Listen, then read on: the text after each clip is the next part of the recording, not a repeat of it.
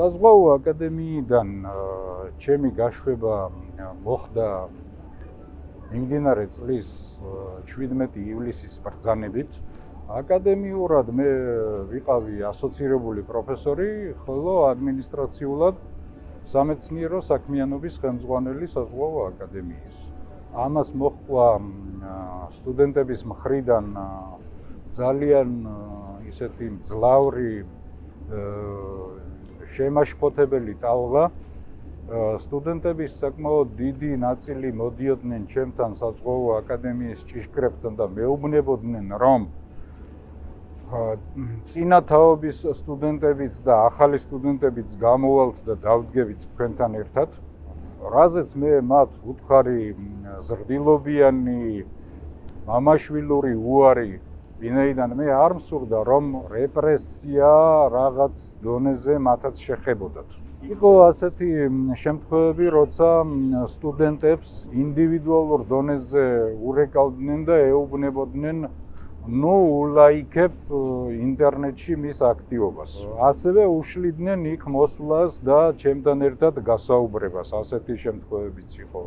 იგივე სიტუაცია იყო თანამშრომლებთან დაკავშირებით. ამიტომ ჩემი მიზანი არ იყო ის რომ თქვათ ვიღაცას კიდევ ჩემი ბედი გაეზიარებინა. მე ასეთ რაღაცას ვერ დაუშვებდი. საზღვაო აკადემიაში უამრავი პრობლემა არსებობს როგორც ორგანიზაციული ხასიათის.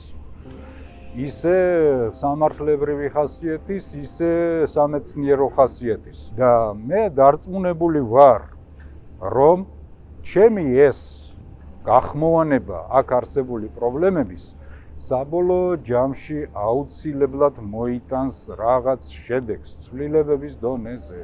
აგვისტოს თვეში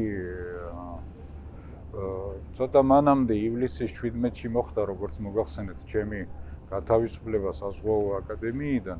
სრულად სხვა თემები იყო წინა პლანზე ვიდრე რეგიონიდან ერთი ლექტორის პრობლემა.